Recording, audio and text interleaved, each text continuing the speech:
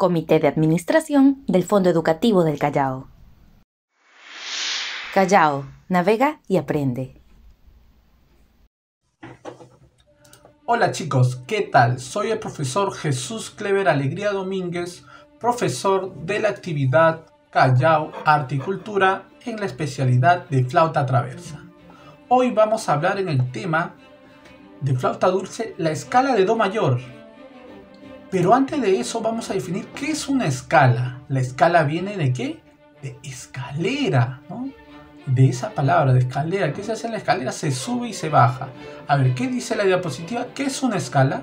Se denomina escala musical a un conjunto de sonidos ordenados que crean un entorno sonoro particular. Estos son sonidos o notas que se denominan grados de la escala y pueden estar dispuestas ascendente o descendente. Como vemos en la imagen, vemos que es una sucesión de notas, ¿no? Conjuntamente ordenada de tal manera de que sube y baja, ¿no? Empieza con la nota Do, ¿no? Este ejemplo termina con Do, su máximo ¿no? pico, y luego baja al Do que hemos iniciado. Y cada una de estas tiene un grado. La siguiente diapositiva, pero ¿para qué nos sirve la escala musical? Aquí dice la función de las escalas es establecer la base de una tonalidad y por lo tanto de una melodía y una composición musical. Gracias a la serie de sonidos que conforman una escala musical, se puede realizar combinaciones entre ellos para generar nuevas sonoridades.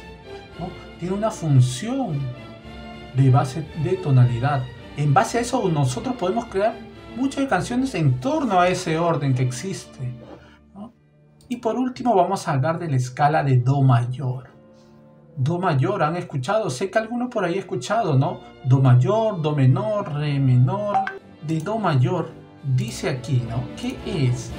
La tonalidad de Do mayor se basa en una escala mayor sobre la nota Do que consiste en que las notas Do, Re, Mi, Fa, Sol, La, Si, su armadura no tiene ni bemoles ni sostenidos, o sea, todas las notas son naturales, o sea, no existe ninguna alteración, ni de subir ni de bajar medio tono.